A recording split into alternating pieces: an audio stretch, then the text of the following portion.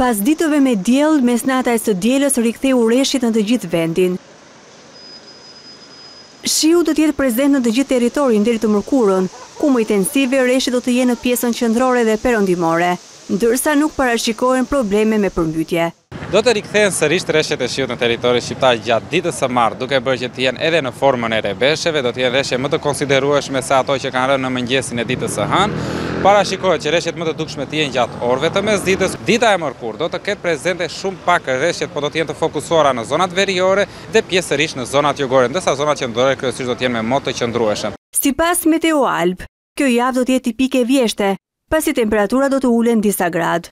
Temperaturat e ajrit gjatë kësaj fillim jave ka patur një rënie të ndjeshme. Ditën e hënë do të vijojë rënia e tyre edhe gjatë ditës së martë dhe të mërkurë, duke bërë që maksimumet nga tridhjetë gradë Celsius që janë regjistruar gjatë fundjavës, pritet që ditën e mërkurë të zbresin edhe në vlerën njëzet e katër apo njëzet e pesë gradë Celsius, që në fakt janë temperatura tipike për sa i përket tetorit.